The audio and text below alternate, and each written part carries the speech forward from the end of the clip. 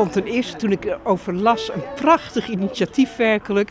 Uh, voor de mensen die spelen, maar ook voor de mensen die komen luisteren. Omdat er al zo weinig te doen is. En ik vond het prachtig gespeeld. Ik heb er erg van genoten. En in zo'n pleintje met de zon fantastisch werkelijk.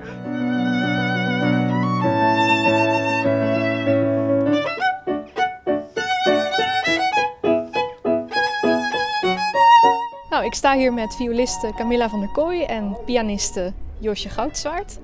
En die hebben een initiatief, namelijk Concert voor de Deur. Ik weet niet meer precies hoe we nou op zijn gekomen, maar die bus die is van uh, het bedrijf van mijn vriend. Dus de, ja, die zag ik en ik dacht van ja, waarom kunnen we dat niet gewoon voor de deur doen dan? Want dat is toch eigenlijk wel coronaproof. En ik hoorde ook juist van vrienden eh, of, of mensen om me heen van nou, we, zijn, we, we vinden het zo saai, we kunnen niks doen, we missen de live muziek zo.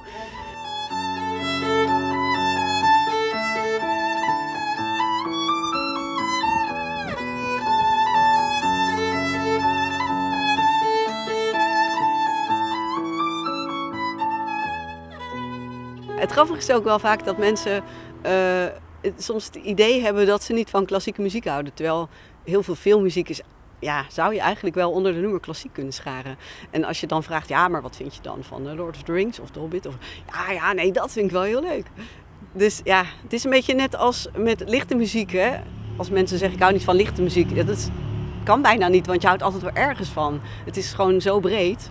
En je kunt bijvoorbeeld wel van Bach houden, maar niet van Shostakovich of zo. En met licht kun je natuurlijk van uh, de Beatles houden, maar niet van heavy metal of zo.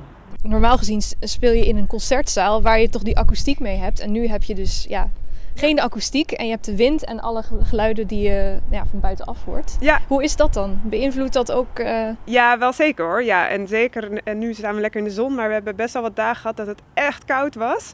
En dan waren sommige stukken gewoon echt niet meer te spelen. En de viool ontstemt natuurlijk ook snel dan? Ja, hebben we ook gehad dat ja. snaren losschoten midden in het concert. En uh, ja, Josje die uh, had dus de, een, een, map met bladmuziek en die blaadjes die waaiden steeds om. Dus die heeft nou zelfs een iPad helemaal aangeschaft om dat we kunnen voorkomen.